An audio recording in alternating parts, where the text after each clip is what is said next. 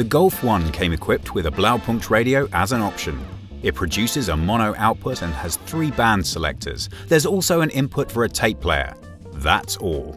We asked an expert to tell us more.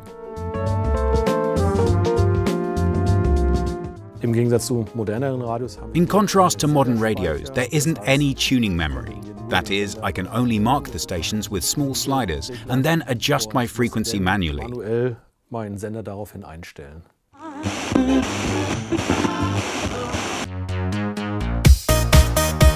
The Golf 2 saw the arrival of the Volkswagen Gamma radio. It was much more user-friendly and was available with different options.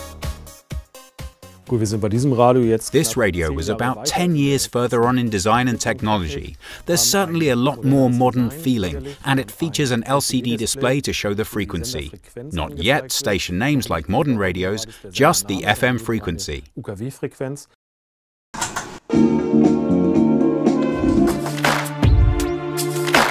The Golf 3 still featured a tape player as an updated Alpha radio system. It delivered a 2 x 20 watt stereo and had an integrated dashboard design.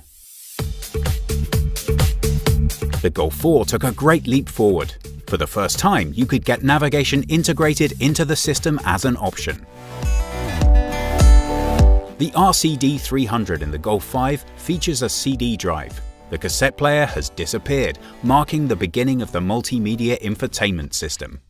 When you look at how far the radio has come from analog to digital, you really get a sense of just how far cars have progressed.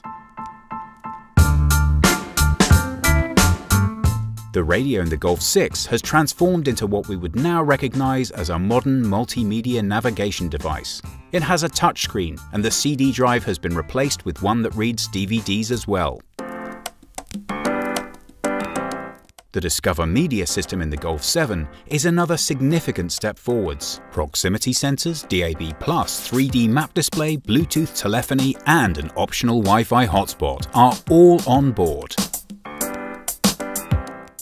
In November 2016, gesture control for the infotainment system premiered in the Golf. The Golf remains the technological leader of its class, and, of course, the current Golf still features a radio.